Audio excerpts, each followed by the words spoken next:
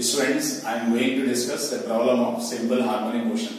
The problem is two particles are performing SHM in a straight line about a same equilibrium point. The amplitude and time period of both the particles are a and t respectively. At t is equal to 0, one particle has a displacement a while the other one is a by 2 and they move towards each other. Find the time when they cross each other. Okay, so here there are two particles. The one at a distance uh, a from the equilibrium position. Here this is the equilibrium position, and second one is at a distance of a by 2 from the equilibrium position, and they move towards each other. So we have to find the time when they cross each other. Okay, uh, the problem can be solved very easily by using phasor diagram.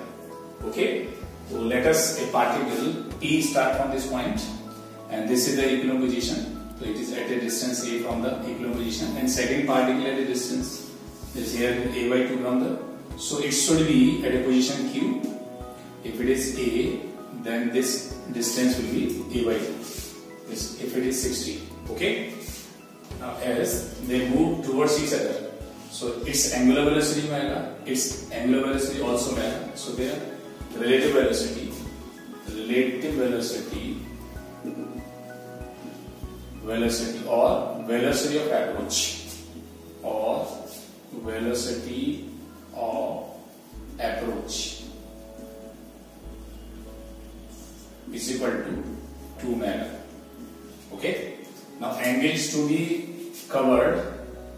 This is equal to this is total is 180 and this is 60 so it remains only 120 so the angle to be the angular displacement the angular displacement theta is equal to 120 degree or 2 pi by 3 radian. Okay? So if t is the required time then we can get t is equal to theta beta 2 omega divided by the 2 5 by 3 divided by 2 and tz angle and here will come 2 pi by t. So it will be 2 pi will cancel out t by 6. Okay. Thanks for watching the video.